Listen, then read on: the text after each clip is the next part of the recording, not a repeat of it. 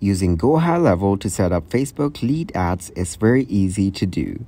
Today I'm gonna show you how to do it. Firstly, go to Settings and then click on Integrations. Here, click on Facebook Ads. Next, click Connect New Account and follow the on-screen instructions to grant Go High Level access to your Facebook Ads account. Ensure you have admin access to the Facebook Ads account you're connecting. Next, create a Facebook lead form.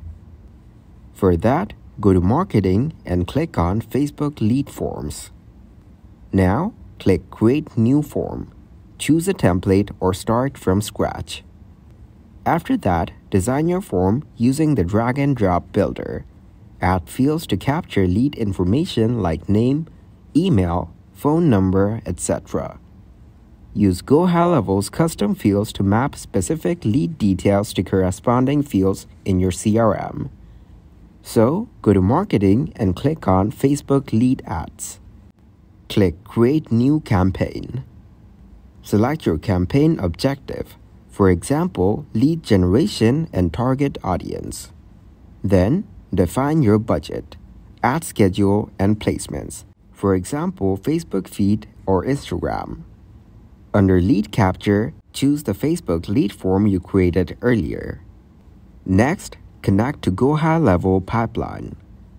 So in the lead capture section, select Go High Level Pipeline. Then choose the pipeline where you want to store your leads. Now map Facebook lead form fields to corresponding Go High Level pipeline fields.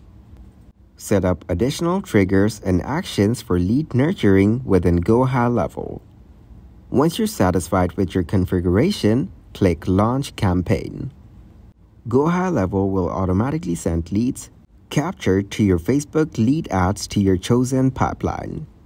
Monitor your campaign performance in Go High Level and Facebook Ads Manager. Track metrics like impressions, clicks, cost per lead, and lead source.